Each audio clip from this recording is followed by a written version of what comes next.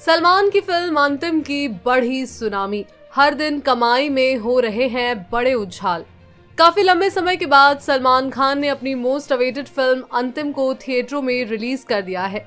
इस फ़िल्म ने रिलीज़ होते ही काफ़ी धीमी शुरुआत की है। ये धीमी शुरुआत का मतलब ये नहीं कि दर्शकों को ये फ़िल्म पसंद नहीं आई।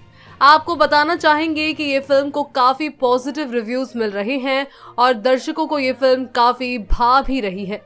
यहाँ तक कि क्रिटिक्स ने इस फ़िल्म को काफ़ी अच्छी फ़िल्म करार दी है और कईयों ने तो इस फ़िल्म को पाँच में से चार या साढ़े चार जितने स्टार्स भी दिए हैं।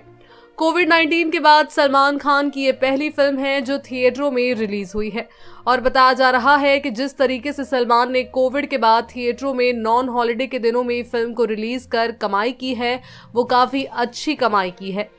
अगर एक उदाहरण के तौर पर आपको बता दें तो हाल ही में सलमान की फ़िल्म की रिलीज़ से एक दिन पहले जॉन इब्राहिम ने भी अपनी फ़िल्म सत्यमेव जयते टू को रिलीज़ किया है। और इस फ़िल्म को इतना अच्छा रिस्पॉन्स नहीं मिला है जितना सलमान खान की फ़िल्म अंतिम को मिल रहा है। और अंतिम फ़िल्म ने बॉक्स ऑफ़िस पर भी काफ़ी अच्छा प्रदर्शन दिखाया है। आइए अब हम आपको बताते हैं कि सलमान की फ़िल्म अंतिम ने पिछले दो दिनों में कितने करोड़ों का कलेक्शन किया है। फ़र्स्ट डे सलमान खान ने चार पॉइंट पचहत्तर करोड़ रुपए का कलेक्शन कर एक अच्छी ओपनिंग अपने नाम की है। दूसरे दिन सलमान ने साढ़े पाँच करोड़ रुपए का कलेक्शन किया है, जो फ़र्स्ट डे की कलेक्शन की तुलना में काफ़ी अच्छा कलेक्शन है। बता दें कि आज हॉलिडे है और सलमान की फ़िल्म को रिलीज़ हुए आज तीसरा दिन है। और तीसरे दिन सुबह के थिएटरों में जो भीड़ देखने को मिली है, वो पिछले दो दिनों की तुलना में काफ़ी अच्छी है।